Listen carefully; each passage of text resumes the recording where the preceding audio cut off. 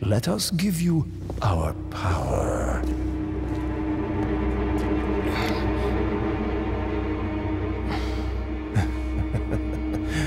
Soon, you will become unable to resist this intoxicating power.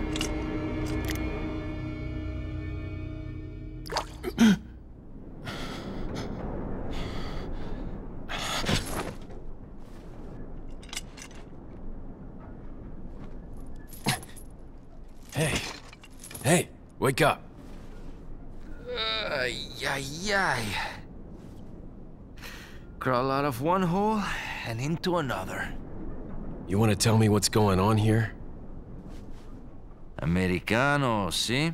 Now what brings a bloke like you to this part of the world? Oh, hey, easy, whoever you are. Name's Leon.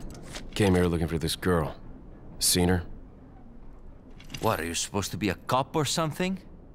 Nah, you don't look the type. Maybe. Okay, let me guess.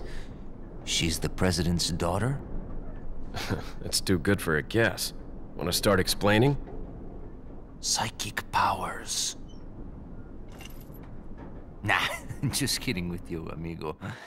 I overheard one of the villagers talking something about the president's daughter in the church.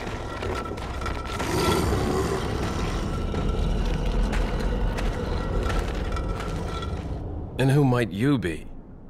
Me llamo Luis Serra. I used to be a cop in Madrid. But now I'm just a good-for-nothing guy who happens to be quite a ladies' man. Why'd you quit? Phew, policia. You put your life on the line, nobody really appreciates you enough for it.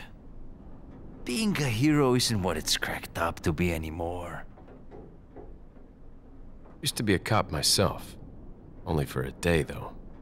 I thought I was bad. Somehow I managed to get myself involved with the incident in Raccoon City on my first day in the force. That is the incident with the viral outbreak, right? I think I might have seen a sample of the virus in a lab at the department. Hey boy, I'm not dying. Do something, cop! After you. Now!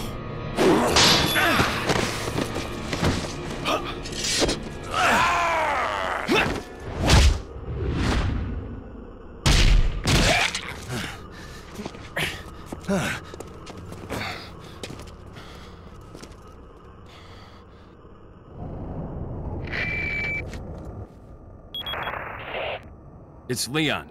Sorry I couldn't get in touch sooner, but I was uh, a bit tied up. You're okay, right? I'm fine. There was a male civilian held captive. According to him, Ashley's in a church somewhere. What happened to him? He managed to escape. Do you have a fix on the location of that church? No, but apparently there's a secret passage in the village that leads there. I'm heading back to the village.